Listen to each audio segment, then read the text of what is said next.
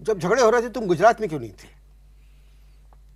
मैं नहीं था इसीलिए तो झगड़े हो रहे थे। भाई मेरी जान मेरे अज़ीज़ मेरे बुज़ुर्ग ये बस इतना बता दे मुझे तूने पहला मुजस्मा उठाया था तो उससे क्या मतलब है? मैं बताता हूँ। अभी मैंने बताया नहीं है तुम्हें। नहीं। ये मैंने इंटरव्यू से पहले तुम्हें कहा था कि पहला मुजस्मा बनाया नहीं उठाया था। अब उठाने से लोग क्या समझते हैं कि चोर चोरी। है? चोरी की है इसने पाप किया है अन्याय किया है। नहीं ऐसी बात नहीं है। वो चोरी नहीं थी। खस्ताहाल था परेशान था। भूख से बिलक रहा था।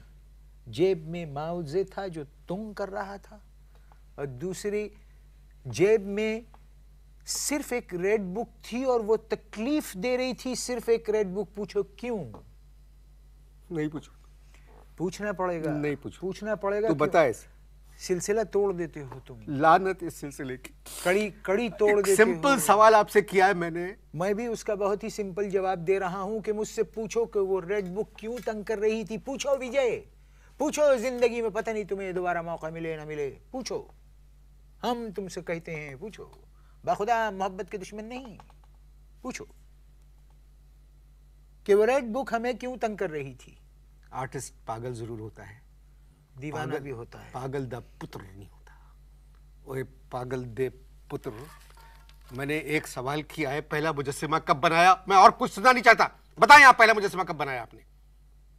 तुम्हारी आँखों में मैं क्रोध देख रहा हूँ। सच्चाई का सामना करना बहुत मुश्किल काम है। बहुत मुश्किल। सच बात करनी चाहिए क्योंकि सत्य में विजयते है। रवि याद रखना हमेशा सत्य में विजयते है।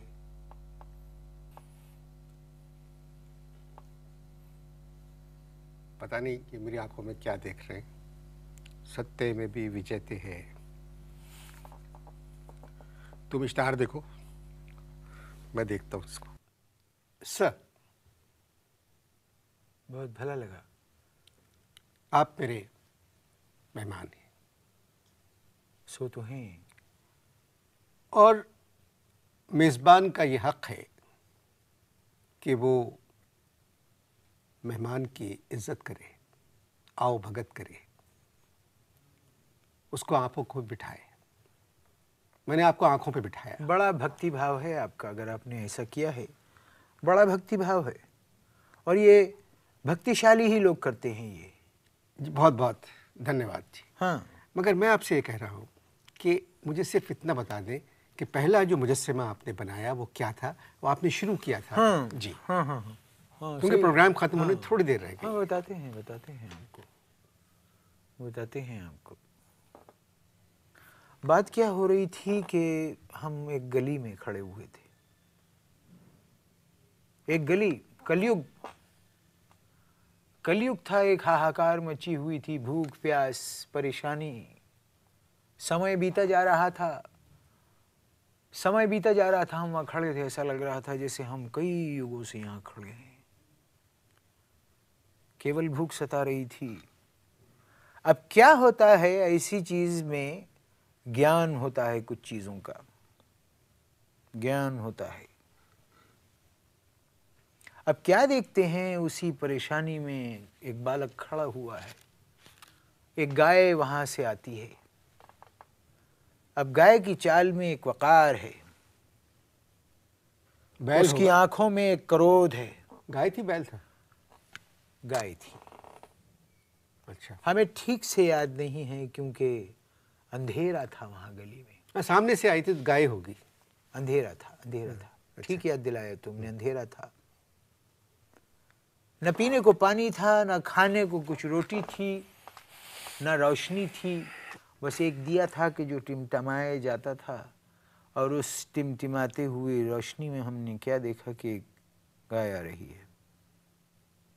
अब चाहे तुम उसे बैल समझ लो या गाय ये नहीं, हम गाय अगर सामने से आ रही थी तो। गाय होगी। चलो माने लेते हैं गाय आ रही थी। अब वो आती है और हम रुक जाते हैं, वो हमें देखती है, हम उसे देखते हैं। अब हम दोनों एक दूसरे को देख रहे हैं। उसकी आँखों में क्रोध है, मेरी आँखों में भूख है। और कुछ करने की प्रेरणा है अब क्या देखते हैं कि अचानक गाय ने अपना रुख मोड़ा और अपनी पूछ हमारी ओर की और फिर उसने जी भर के किया गोबर। आप पर ज़मीन पर। ज़मीन पर। तसलसल तोड़ देते हो विजय तसलसल तोड़ देते हो तुम। तो अब क्या हुआ कि तो गोबर गाय ने जी भर के किया। सुनो मेरी बात। मेरी बात भी सुनो। आर्टिस्टिक बात कर रहा ठीक है करे।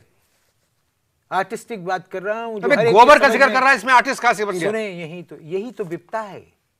यही तो विपता है। इसी विपता को सुनो ज्ञान लो ज्ञान लो सीख लो कुछ।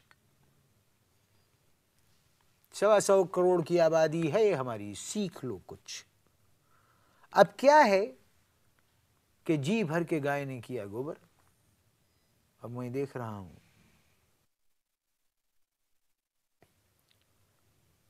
गाय चली गई।